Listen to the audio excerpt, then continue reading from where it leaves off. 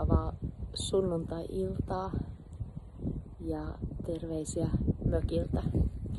Me ollaan täällä laittamassa mökkiä talvikuntoon ja ehdittiin vielä ennen kuin aurinko laskee, mutta syksy alkaa olla jo aika pitkällä täällä. Et jos katsotte tuolla ihan vain joissakin puissa on enää lehtiä jäljellä.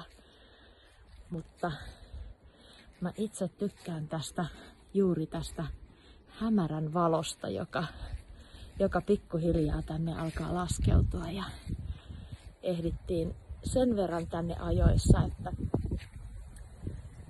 nähdään auringonlasku ja sitten hetken kuluttua mennään tuonne saunalle lämmittämään saunaa.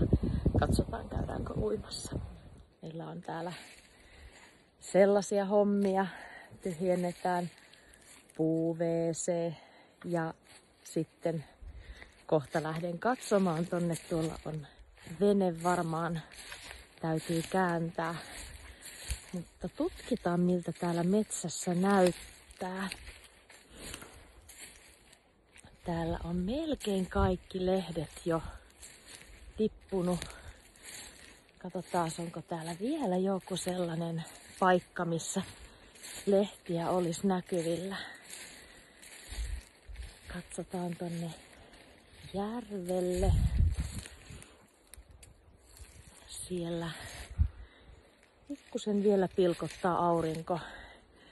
Tultiin sellaiseen aikaan, että, että vielä vähän aikaa nähdään tehdä täällä hommia. Siellä näkyy, näkyy, näyttää siltä, että vene on käännetty, mikä tarkoittaa sitä, että me voidaan ehkä ihan hetken kuluttua alkaa lämmittää saunaa. Oikein hyvää viikonloppua teille ja nautitaan kauniista syksystä. Nyt ainakin täällä Itä-Suomessa syksy alkaa olla jo aika pitkällä. Että vain muissa, muutamissa puissa on enää lehtiä. Mikä tarkoittaa sitä, että me voidaan haravoida täällä. Oikein hyvää sunnuntai-iltaa Itä-Suomesta. Täällä on jo tosi tosi pimeää.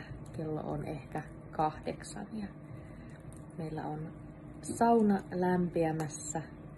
Mennään saunaan ja lapsi keitti glökiä ekan kerran tänä vuonna. Eli se tarkoittaa sitä, että ehkä joulu tulee pian. Oikein mukavaa sunnuntai-iltaa ja nähdään